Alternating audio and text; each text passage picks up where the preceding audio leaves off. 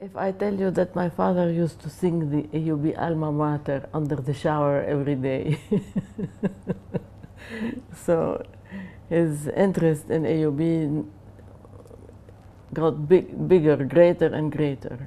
AUB was home. When he came here, he, as if he was coming, coming home. So uh, this maybe the place he, he liked most in, in Beirut. There's so much, I mean, you know, you go to Assembly Hall, you have so, so much. You hear a speech, you are inspired by a speech. Uh, you are inspired by the way people behave and respect each other on campus.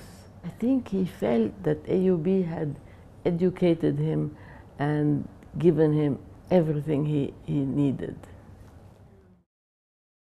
There are so many graduates of AUB who go to uh, Near East countries and are brilliant and they become head of states. They, they become very, very uh, important. Can you imagine Lebanon without AUB? really. And the hospital has been a godsend to so many people. Happy 150th.